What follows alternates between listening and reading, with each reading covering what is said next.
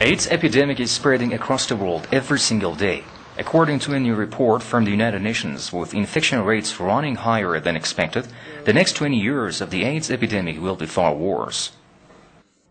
But A1 surprised the world when it announced that it has successfully produced a herbal medicine known as IMOD that helps control the HIV-AIDS virus.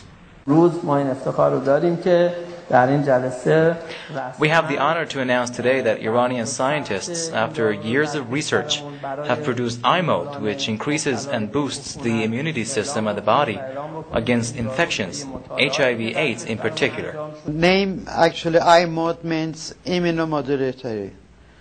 So uh, this is a, uh, basically a herbal uh, product that has very uh, effective uh, and uh, it's very efficient in uh, increasing the number of CD4 cell counts. And these CD4 cell counts are responsible for the cell-mediated immunity and it, it's actually the top of uh, cell immunity agents. With this uh, IMOD, we don't let them go to AIDS stage. Iran has set up a center known as Positive Club in which HIV infected patients get together and do social activities while receiving regular treatment. IMOD had a very positive result on me. This is the fourth period I'm using IMOD.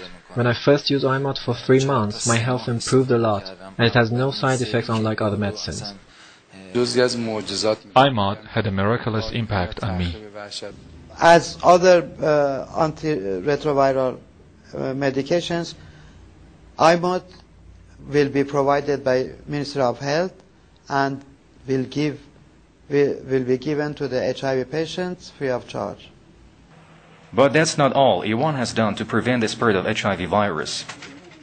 Uh, from UNAIDS perspective, Iran is one of the lead countries in the region. Uh, is, the government is open. Uh, the initiatives, the undertakings are very uh, progressive. Uh, mainly, I can highlight what has uh, been done in prison settings. The efforts by Iranian scientists to produce anti-HIV drug IMOD proves that there is always hope against hope.